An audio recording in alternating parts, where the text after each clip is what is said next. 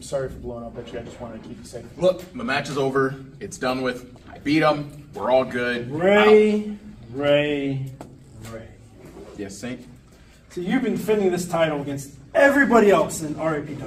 Yeah, that's what I So do. let me ask you this: When do I get a shot at this title? Title matches. Damn old title matches. We talking about title matches, huh? What up, Saint Dick? Hey, can you can you back up so big man can talk here? Big Champions. See, see, see, see, see.